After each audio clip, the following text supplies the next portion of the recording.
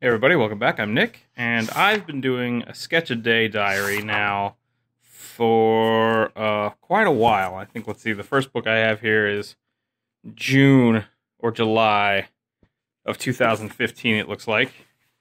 And uh, we can look through that. It's got quite a bit of stuff. There we go. All right, some things going on there.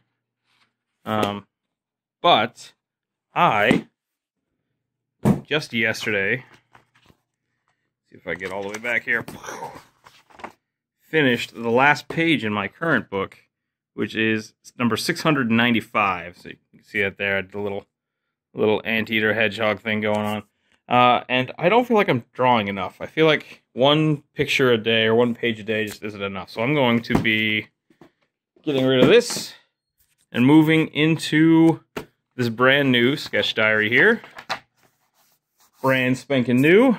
Got my, my blue Prismacolor pencil and uh, I'm going to try to open up these figure drawing books. I have Color and Light, and I have Anatomy for Artists. And I'm going to try to fill this book completely full by the end of, uh, of June here. So hopefully, uh, at the beginning of July, I'll have a full sketchbook, and I'll have something cool to show you guys. So I'm going to be trying to keep up with this, uh, this little blog every other day or so, show you guys what I'm drawing. And if you have comments or questions, feel free to add them in. Thanks.